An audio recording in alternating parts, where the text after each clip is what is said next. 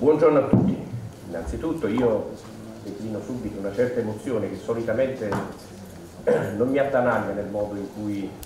succede oggi, ma perché appunto la circostanza di ritrovarmi in questo luogo, che come è stato detto per me non è un luogo neutrale, le persone che sono presenti non sono persone a caso, mi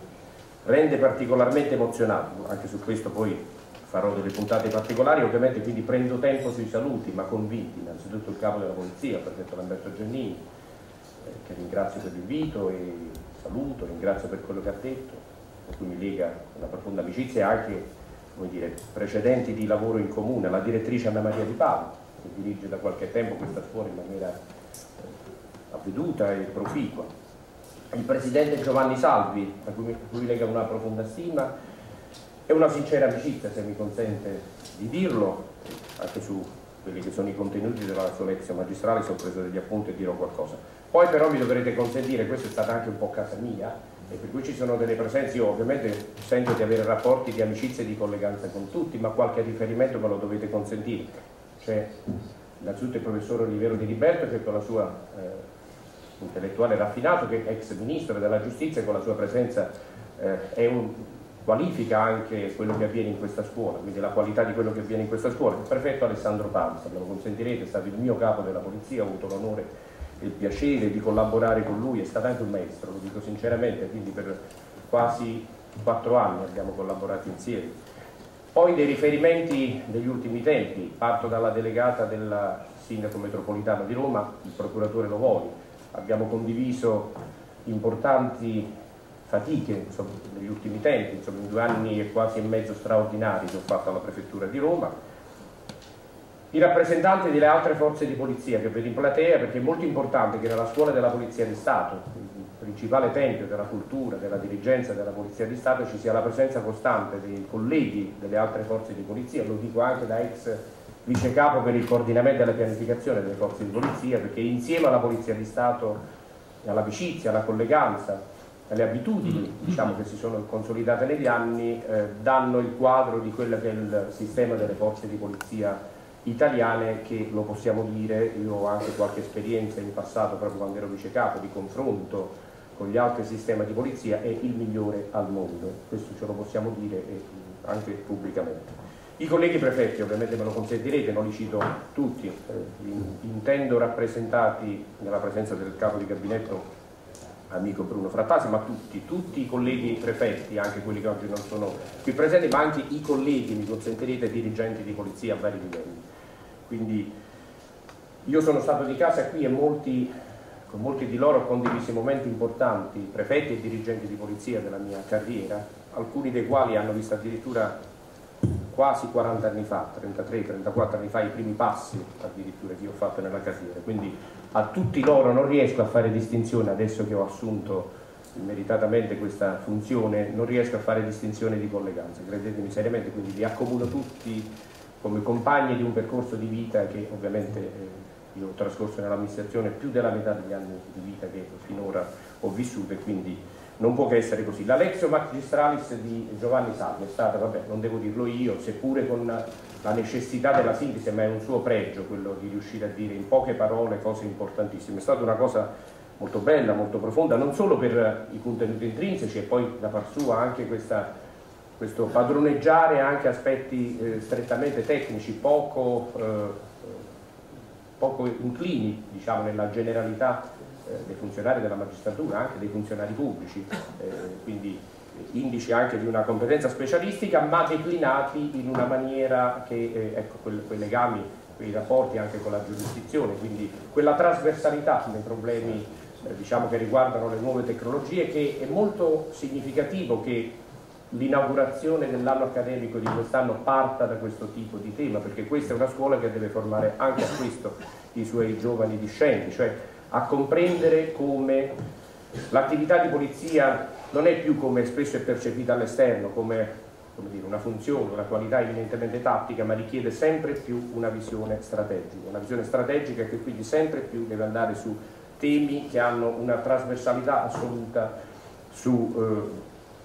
argomenti che solitamente, tradizionalmente non hanno riguardato l'attività di polizia. Sono questa trasversalità in settori cruciali per la vita del Paese, come anche la cronaca recente dimostra, appunto quello che è il rapporto con le nuove tecnologie, quindi sviluppare tutta, è stato fatto riferimento per esempio all'agenzia eh, no, che è stata creata, a capo della quale è stata messa una dirigente di polizia, quindi ha visto la valorizzazione di quella che è appunto una competenza e un'esperienza che è stata sviluppata a partire da questa scuola, ma anche la trasversalità su altri temi importanti di grande attualità, lo sviluppo economico, la tenuta socio-economica, che è uno dei temi che ai noi registra già eh, eh prima, no, i primi segnali, ma che ci impegnerà nei mesi futuri. Tutto questo non vuol dire che dobbiamo dimenticare i temi tradizionali, primo tra tutti la lotta alla criminalità organizzata. Questa è una scuola, questo lo dico soprattutto ai discenti, sappiatelo e portate nell'orgoglio, che ha formato i migliori investigatori al mondo che poi hanno combattuto e in qualche modo sconfitto la criminalità organizzata, organizzata dando il contributo insieme alle intelligenze provenienti dalla magistratura, e ce ne sono alcuni esempi qui oggi, che ho citato prima, dando il contributo anche per formare un quadro normativo di investigazione e di repressione che è eh, di esempio nel mondo. L'importanza sempre di mantenere l'attenzione su quelli che sono i temi della criminalità organizzata, quest'anno hanno assunto dire, una sollecitazione particolare allorquando abbiamo fatto anche la celebrazione di momenti importanti. Ne cito uno tra tutti, il quarantennale dell'uccisione del prefetto generale dei carabinieri Carlo Roberto Dalla Chiesa, ma tanti altri potremmo citare. Eh, citare come esempi quindi da celebrare non solo e non tanto eh, per il dovere di piangere no? il sacrificio dei nostri, dei nostri, colleghi, dei nostri eh, fratelli, ma perché eh, dobbiamo portare la consapevolezza che il loro sacrificio non è stato affatto inutile per quello che vi ho detto. Pensate a quello che successe all'indomani dell'uccisione dell'onorevole da Torre, quindi da lì partì lo slancio e l'impulso per l'adozione di un quadro normativo che poi si è sviluppato negli anni e che ancora adesso produce i suoi effetti anche in termini di modernità, di rincorrere gli interessi criminali non più e non solo sul piano insomma, della, della, della, violenza che viene effettuata uh, su strada, ma anche dal punto di vista degli interessi principali, quindi di seguire, di rintracciare e di reprimere gli interessi economici. Tutto questo non solo diciamo, è un dovere morale di non dimenticarlo, ma anche perché ha una sua attualità, perché sapete tutti abbiamo il grande impegno della, eh, del, che ci porta all'attuazione del piano nazionale di ripresa e resilienza, che per quello che ci riguarda come amministrazione non solo ci impegna in un'attività innanzitutto di sviluppo della realizzazione del piano, del monitoraggio della realizzazione dello stesso nei confronti dei principali attori che sono gli enti territoriali, ma anche di eh, mantenimento di un'adeguata cornice di sicurezza intorno all'utilizzazione eh, di, di queste importanti risorse. Proprio oggi il mio ufficio eh, sarà impegnato in un importante incontro con i rappresentanti dell'Associazione Nazionale dei costruttori edili, l'ANCE, eh, proprio per eh, rafforzare, trasmettere, trasferire su quelle che saranno le importanti sfide appunto della realizzazione del piano, eh, trasferire lì quelle che è appunto l'esperienza e la competenza dell'amministrazione su quella che eh, banalmente si sintetizza nella definizione di prevenzione antimafia. Si, tutto questo si nutre, diciamo, quello che dicevo prima, ecco, l'attività di polizia non è solamente tattica ma anche capace di trasferire, di dare, di conferire ai discenti una visione strategica.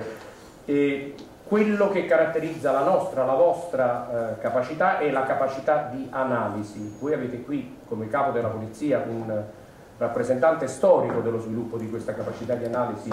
della Polizia di Stato, nella fattispecie, ma potremmo citare altri esempi anche nelle altre forze di polizia. Lo dico come esempio perché lui è stato un eminente esponente insomma, di dello sviluppo di questa capacità di analisi, ad esempio su un altro dei versanti che negli anni scorsi ha impegnato tutti i paesi dell'Occidente e dell'Europa in particolare, che era quella della prevenzione del terrorismo, soprattutto quello di matrice fondamentalista, che adesso noi tendiamo, non dico a dimenticare, ma a immaginare che sia compresso e che sia diventato in qualche modo recessivo, ma che invece dobbiamo stare molto attenti e quindi confidiamo molto nelle capacità di intuizione, di analisi, di monitoraggio continuo che l'amministrazione eh, della Polizia di Stato riesce a porre in essere per fare in modo eh, che non ci siano più eh, nuovi episodi che hanno in modo così luttuoso caratterizzato la vita delle nostre comunità. Oggi al di là di questo la domanda di sicurezza si riespande, perché non sono solo questi temi classici, non sono quelli, solo quelli che abbiamo detto, e anche eh, la relazione che ci ha tenuto Giovanni Salvi con queste interrelazioni con questi settori tradizionalmente apparentemente esterni al nostro mondo, invece ci dice che la domanda di sicurezza si riespande,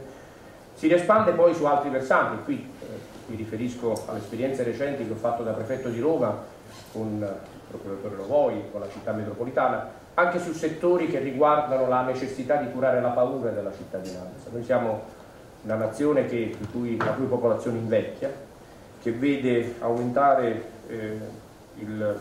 degrado degli ambienti urbani, ma questo non per colpa degli amministratori, per una serie di amministrazioni territoriali che eh, in qualche modo sono responsabili di quelli che sono gli assetti urbani, il contrasto al degrado, sono state troppo a lungo eh, come dire, attributare di risorse che non erano adeguate per poter far fronte a questo e quindi adesso il combinato disposto di crisi socio-economica, di popolazione che invecchia, di mancata cura adeguata degli, di ambiti territoriali importanti fa sì che la popolazione abbia sempre più paura rispetto a fenomeni che ci possono apparire nella vita quotidiana marginali, secondari, ma che in realtà sono fenomeni di cui dobbiamo farci carico, anche quelli che sono i piccoli, grandi eh, episodi reiterati, consolidati di, di, di disturbo, di, di degrado, eh, di illegalità che avvengono soprattutto nelle aree metropolitane. Ecco, dobbiamo stare molto attenti se cresce la paura e si riespande il bisogno di sicurezza, perché lo dobbiamo affrontare sicuramente, dobbiamo ecco, utilizzare questa capacità di visione strategica, di analisi che proprio a partire da scuole come queste dobbiamo sviluppare, ma dobbiamo attenzione, prestare attenzione anche alla strumentalizzazione di questa paura. Dobbiamo evitare che ci sia un pericolo di avvitamento della protesta, ne abbiamo già qualche primo segnale. Su questo io dico solo, e lo dico non solo a tutti i presenti, ma lo dico soprattutto ai discenti, e quindi auspico che si insegni soprattutto in questa scuola, occorre equilibrio e moderazione. Veramente questa è la vera arte che deve utilizzare il dirigente di polizia nel momento in cui viene preparato ad affrontare le sfide eh, future. Io confido e plaudo alla competenza e all'equilibrio che finora pressoché sempre le forze di polizia hanno eh, utilizzato per garantire la democrazia. Io voglio fare un'altra citazione di una grande personalità, di una grande intelligenza che è stata di casa in questa scuola, quella di Carlo Mosca, che aveva dedicato no, una connotazione, eh, aveva definito la sicurezza un diritto di libertà, questo spesso nei commenti si dimentica, no? cioè quando si vede l'attività di polizia eh, dispiegata su strada, nell'ordine pubblico soprattutto, si dimentica di eh, dire, provare a immaginare perché succedono certe cose e quale sia il bene primario che eh, no, ci si promette di preservare. Quindi moderazione ed equilibrio. Questa è la prima cosa che io mi permetto di dire alla direttrice, insomma di porre in qualche modo eh, nel programma di questi ragazzi, mi perdonerete se vi chiamo così, a cui dico oggi vestite tutti in divisa e eh, la divisa portatela con orgoglio sempre, non abbiate mai il timore e il dubbio che possa essere così, un elemento un po' antico, un po' barocco, un po' no, così ideologizzato, la divisa deve rimanere sempre per voi un riferimento morale. Quando avrete delle difficoltà, quando indubbiamente incrocerete delle complicazioni, ricordate che nella divisa in qualche modo si, si sintetizzano tutti questi valori che in qualche modo vi potranno suggerire e eh, consigliare il comportamento che dovrete avere. Io dico solo, e mi avvio a conclusione, io sono molto eh, responsabilizzato, ecco, non voglio utilizzare, ho una certa consapevolezza e ho il dovere anche di sentirmi sicuro di me stesso, però avverto tutto il peso della responsabilità di esercitare la funzione che mi è stata conferita per me imprevista, soprattutto quella di autorità nazionale di pubblica sicurezza, secondo quelle che sono le previsioni previste dalla legge 121 dell'81, che è anche la legge storica no? della, praticamente della rinascita della Polizia di Stato ad ordinamento civile e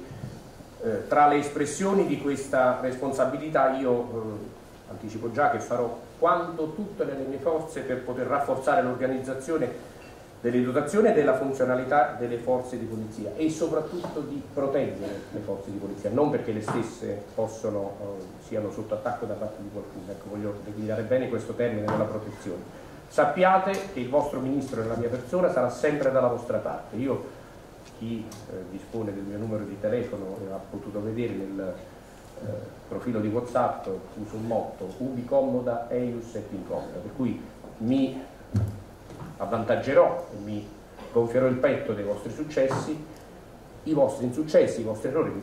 mi auguro che non ce ne siano saranno i miei errori e i miei insuccessi. Quindi il Ministro dell'Interno sarà sempre dalla parte della polizia e delle forze